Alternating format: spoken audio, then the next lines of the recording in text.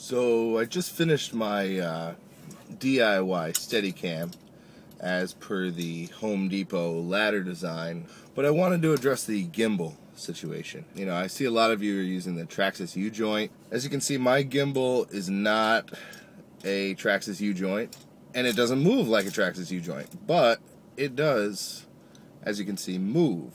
I was much more interested in getting this done quickly and getting this done without ordering parts off the internet. So I went into my junk drawer. I bought another one to replace it, but I had one of these, which is just a swivel plug. It doesn't matter what the fitting on the other side is, but it's a swivel plug. Um, I just got it at Home Depot. I know about this one at Ace. Um, what I did to, to smooth it out a little bit was just put some graphite rub in there. Um, I put as much graphite rub as would fit I then took a toggle bolt, um, just a skinny toggle bolt. So I ran the toggle bolt through and just, you know, twisted it tight until the toggle locked in.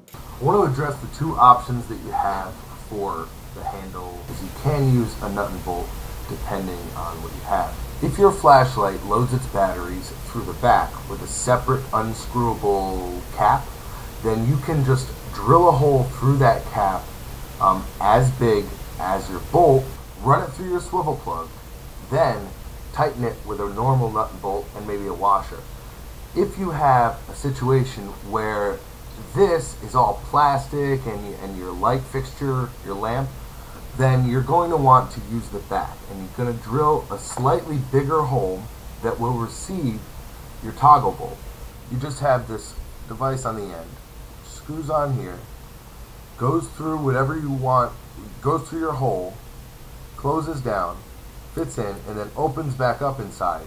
Then you can tighten it and lock it onto whatever you need to. So in a situation where you have a flashlight where you can't open this back part, you're going to want to drill in to receive this toggle bolt, stick it in, have it open, lock it on. With your swivel plug here, obviously. You'll end up with your swivel plug screwed onto here and leave a little bit of room. You don't need to tension it fully and that will give you your, your free range of motion here. You could add like gaffer's tape or some sort of uh, grippy tape to make it function a little bit easier. But when the camera is mounted on here, this becomes your pan. There we go.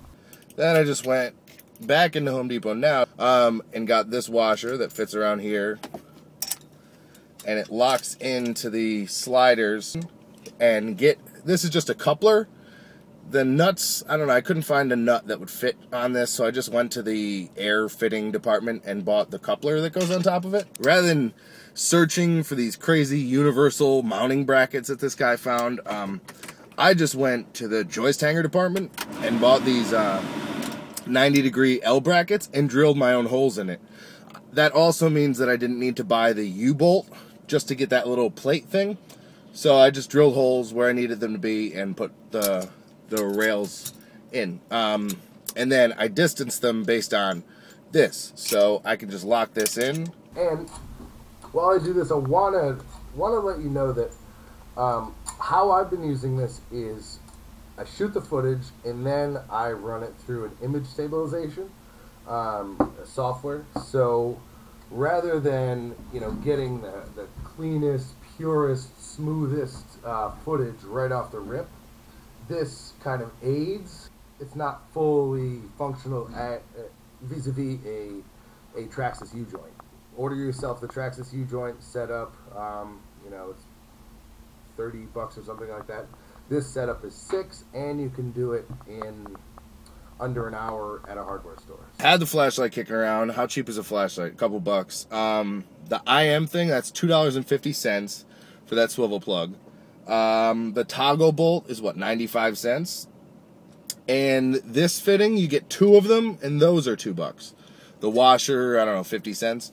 So this gimbal, rather than getting the Traxxas U joint and waiting for shipping and all that stuff, just cost me like five or six bucks. So again, it's no better. It's the opposite of better, but it's very quick and you can get off and running with some uh, stabilized footage, which you can then run through image stabilization software and get some pretty perfect shots. Hope I've been of some help. Thank you.